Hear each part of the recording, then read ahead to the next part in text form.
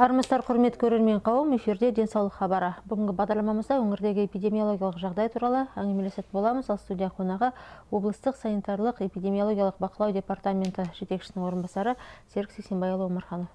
Серік сексенбайұлы біздің студиямызға қош келдіңіз. Сәлеметсіздер ме жалпы өмірде өңірдегі эпидемиологиялық жағдай қалай? Бүгінгі таңда Ә, қазіргі кезде қазіргі таңда осы 2022 жылдың он айының қорытындысын біз жүргіздік шығардық.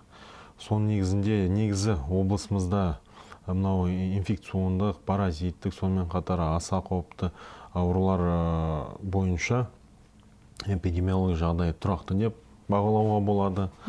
Алайда мынау жыл сайынғы мынау күннің суытуына байланысты бізде бірінші қарашадан ә, сәуір айы бойынша ә, мынау жедел респираторлы вирусты инфекциялардың ә, эпидемиялық кезеңі ә, өтеді. Ә, қазіргі күні бізде ә, жедел респираторлы вирусты инфекцияның ә, 43 бүтін ә, 43 мың жағдайы тіркелінді. Бұл егер біз өткен жылғы ә, дәл сол кезеңмен салыстыратын болсақ бұл ә, ауыршандық көрсеткішін ә, бір бүтін оннан төрт есе жоғарылаған ә, байқап отырмыз. Өткен жылы бізде 29 мың 29 ә, мың 300 жағдай ә, жедел респираторлы вирусты инфекцияның жағдайы тіркелінген болатын. Қазіргі кездегі мынау тіркелген 43 мың жағдайдың ішінен бізде 600 ә, жағдайы бұл жүкті әйелдер мен ә, жүкті әйелдер арасында тіркелінді. Оның ішінде үш жағдай бұл ә, пневмония жағдайы тіркелінді. Ә, сонымен қатар мынау ә, ауыршандықтың барлық үлес салмағын алатын болсақ 57 ә, пайызы бұл 14 жасқа дейінгі балалар арасында ә, инфекция ауыршандық тіркелініп ә, жатыр. Ә, мынау негізі қараша айында бізде ауыршандық деңгейін біз эпидемиологиялық заңдылығына сәйкес егер де бізде ауыршандық де- деңгей көрсеткіштері апта апта апта болып бағаланып отырады. Бізде қырқыншы апта бұл басы болып саналады. Сонымен қатар қырық екі аптаның арасында ауыршандық деңгейі бір бүтін ә, оннан бес бір жарым есеге жоғарылайтын болса ол кезде мынау қазіргі кездегі нелерге құжаттарға сәйкес ә, облыстағы бас мемлекеттік санитариялық дәріге- ә, дәрігерінің ә, несі шектеу қаулысы қабылданатын болады. Біздің облысымызда ол қаулы қабылданды.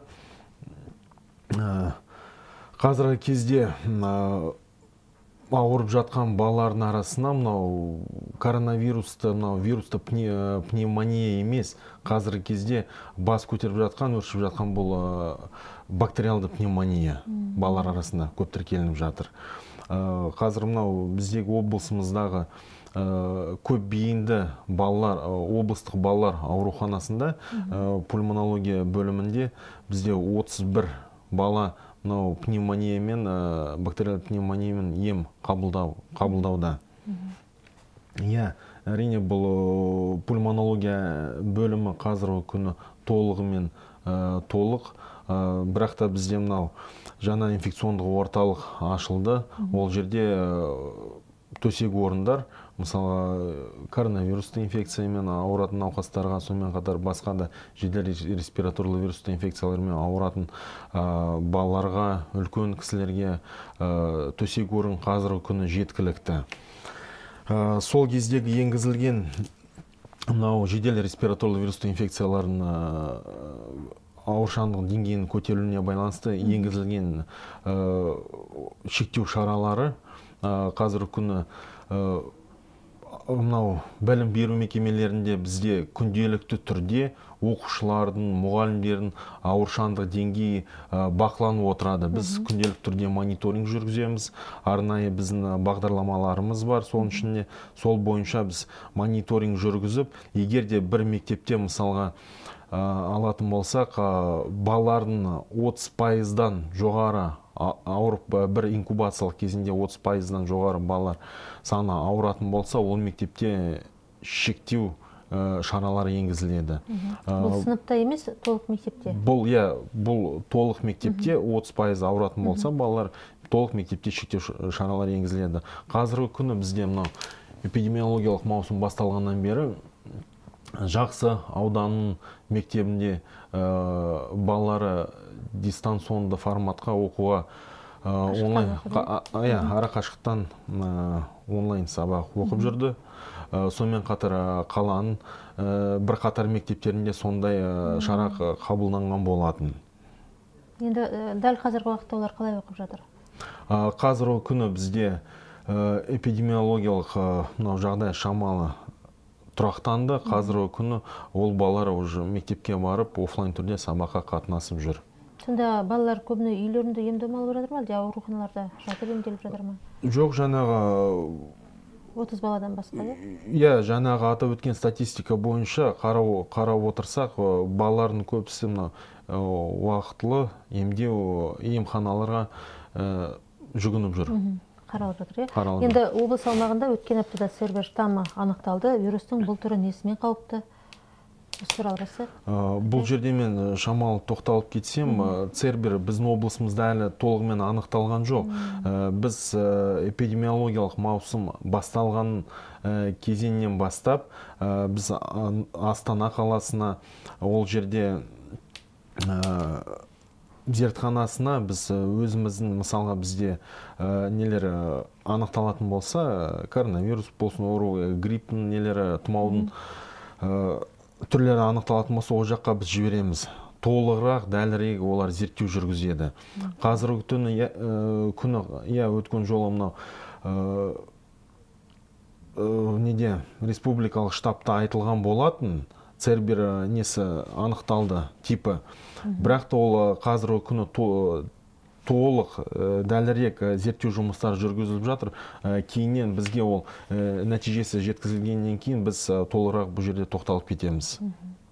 Жоқ жалпы бұл вирус несімен қауіпті бұл штамм бұл омикронға қарағанда бұл өте тез таралады. Бұрын мысалға біз омикронды бұл тез өте таралатын инфекция деп жүрсек бұл цербер оған қарағанда тез таралады. сонымен қатар бұл негізгі симптомдары мынау адамның жалпы әлсіздігі мынау буындары сырқауы сонымен қатар температураның жоғарылауы бұл енді қатты асқынған түрлері әлі кездескен жоқ біздерде.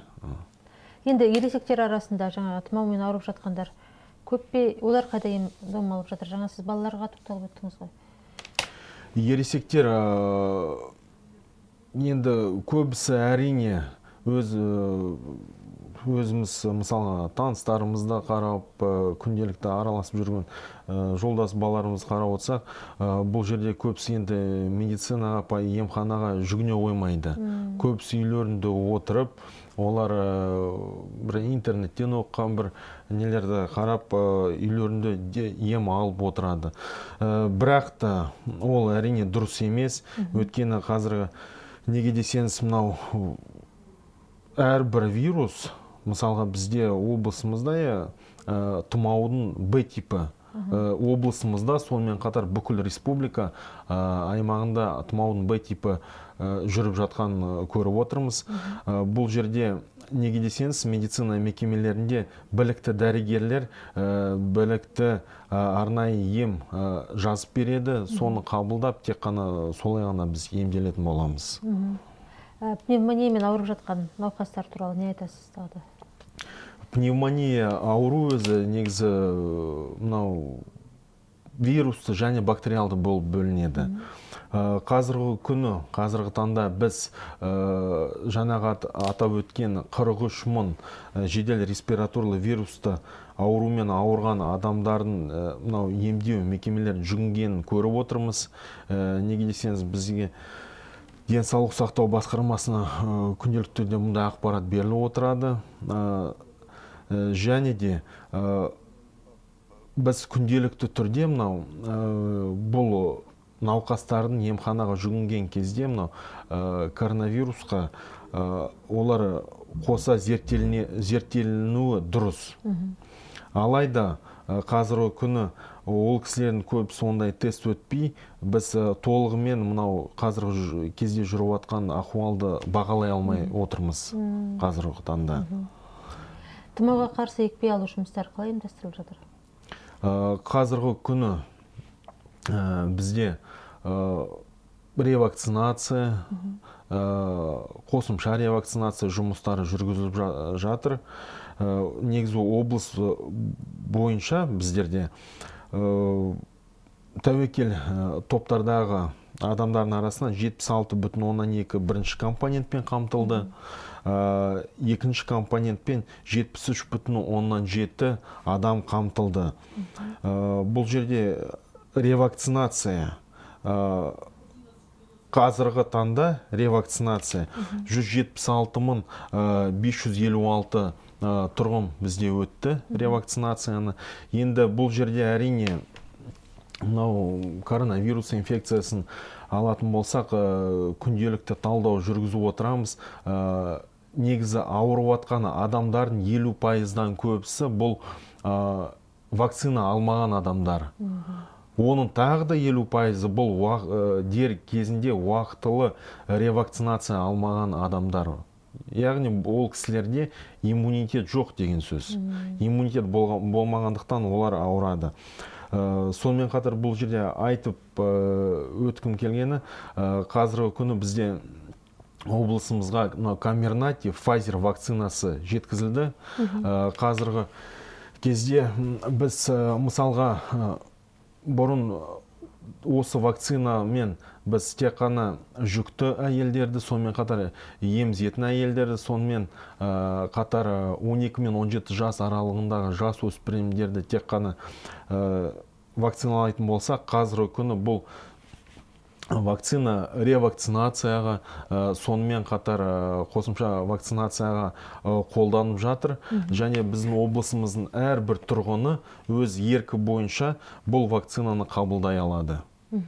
Ол вакцина қазіргі таңда бүкіл облысымыздағы емханаларда қаланың барлық емханаларында бар. Енді жеткілікті дейсіз ғой иә? Алдағы мереке күндері медицина мекемелері қалай жұмыс істейтін болады? Алдағы мереке күндері енді бізде қараша айында шығарған мынау тұмауға қарсы қаулымызға сәйкес егер де мынау жедел респираторлы вирусты инфекцияның жағдайы нашарлап ауыршаңдық көрсеткіші көбейетін болса бұл жерде емдеу мекемелер емханалар жай күндері жұмыс күндері олар таңғы тоғыздан кешкі сегізге дейін жұмыс істейтін болса мынау демалыс және мереке күндері олардың жұмыс уақыты таңғы тоғыздан кешкі он сегіз нөл нөлге дейін жұмыс атқаратын болады. Әрбір емханада емханада бағана мен денсаулық сақтау басқармасының басшыларымен сөйлескенмін.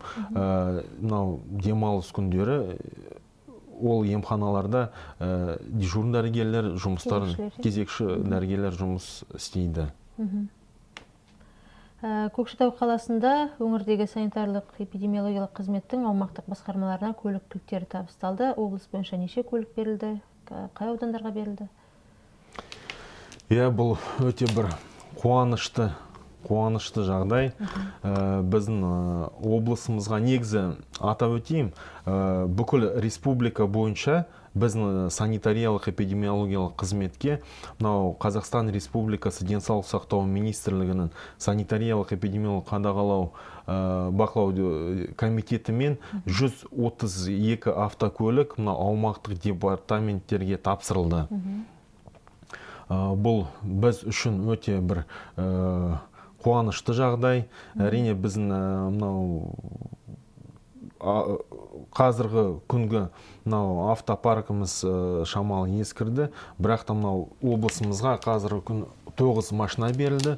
Біз сенбі күні мынау желтоқсан тоғызы күні департамент басшысымен айнагүл советовна өзі мынау тоғыз ауданға бурабай ауданы көкшетау қаласы сандықтау ауданы зеренді ауданы есіл ауданы ә, целиноград ауданы бұланды ау- аудандарына ә, көлік ә, табыс етілді. Енді біздің ә, әріптестеріміз жағынан өте бір бір жақсы қуанышты жағдай біздерге өте. Енді алда мереке күндері келе жатыр. Жалпы тұрғындар қала қонақтары қандай ережелерді естен шығармай қатаң ұстану керек? Бұл жерде әрине ә, қазіргі күні мынау жаңа жылға дайындық жүр- жүргізіліп жатыр иә? Ә, адамдар тұрғындарымыз бүкілі мынау базарға ә, жаңа жылдыққа дайын, дайындық несінде өте көп адамдар өзі демалыста барған. Адамдар ә, ауыл жерлерде мына қаланың тұрғындары өте көп базарға барып жатыр. Бұл жерде өз өзін жеке бас денсаулығын ойлап ә, адам көп жиналған жерде ә, бетперде тағуды біз ә, нетеміз ә, ұмытып кетеміз иә? иә ұмытып кетеміз. Бірақ та қазіргі күні мынау ауа райының қолайсыздығына қарап мынау көп адамдар ә, жедел респираторлы вирусты инфекциялармен ауырып жатқанын ескере отырып сондай адам көп ә, жиналған жерлерде өз өзін әрине алшақтау ұстауды ұсыну, ұсына- ұсынамыз. Бірақ та ондай жағдай болмаған кезде ә, ол жерге барған кезде мына бетпердені тағуды біз ұсынамыз. Бұл ә, қатаң түрдегі не шара емес бірақ ұсыныс ретінде тұрғындарға соны айтамын мен. Серік сексенбайұлы осымен бізге берілген уақыт аяқталды. Біздің студиямызға келіп біздің сұрақтарымызға жауап берген үшін сізге алғысымызды білдіреміз. Еңбектеріңіз жана берсін. Құрметті көрермен қауым осымен денсаулық хабар аяқталды. Бүгін біздің студиямызда қонақта болған облыстық санитарлық эпидемиологиялық бақылау департаменті жетекшісінің орынбасары серік сексенбайұлы омарханов. Эфирде келесі кездескенше аман сау болыңыздар.